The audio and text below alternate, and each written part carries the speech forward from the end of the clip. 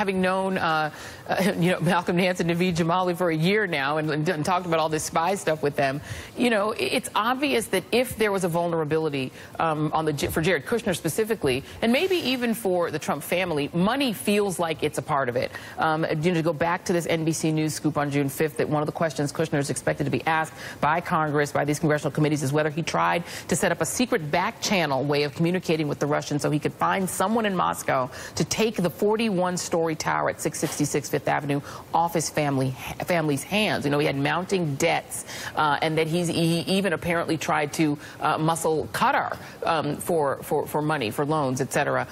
What do you make of the sort of business side, money side, money need aspects of Russiagate?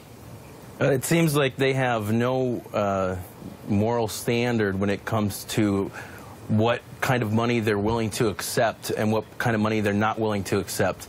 Uh, and I think it's coming back to haunt them now. Uh, they think that the rules don't apply to them. They think the rule of the in America don't apply to them. And I'll tell you, when it comes down to it, most of these people are guilty uh, when it comes to the court of public opinion, especially with Trump. So uh, if it comes to impeachment for Trump, uh, I think it's pretty simple. He's guilty in the court of public opinion, and I think we need to make it clear that it's a political uh, opportunity for us to make sure that we actually can impeach. Um, when it comes to this money, I, I, think it's most of it's dirty money. It's blood money when it comes down to it.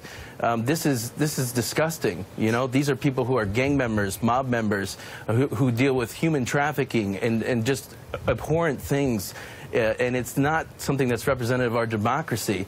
And he's just blowing everything uh, that the United States has been built for uh, over the past few hundred years. And you're talking so about on the I, Russia side, you know, of course, the, the, the yeah, yeah. The, the, mob stuff, right, on the Russia side. But